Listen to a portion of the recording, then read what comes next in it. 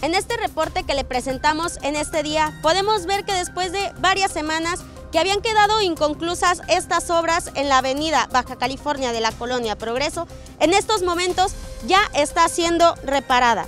Hace aproximadamente algunos cuatro meses que fue levantado el pavimento de esta calle que se encuentra justo frente a la primaria Club de Leones. Y hasta en estos momentos ya podemos ver que se encuentra ya personal con maquinaria pesada realizando los trabajos de reconstrucción de esta carpeta asfáltica.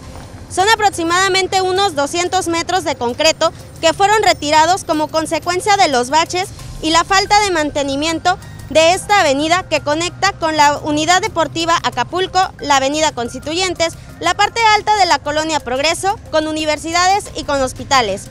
Por los trabajos que se están realizando desde este punto hacia el entronque con la calle Jalisco y Vallarta de la colonia Progreso, podemos ver que solamente se encuentra en funcionamiento un solo carril, por lo que la circulación vial es un poco lenta en estos momentos y más en horarios de salida como consecuencia del regreso a clases. Estas obras de reconstrucción de varias calles y avenidas del puerto de Acapulco que se encuentran en mal estado están siendo reparadas por parte del gobierno municipal del puerto de Acapulco. Yo soy Adriana Garay y estamos al momento.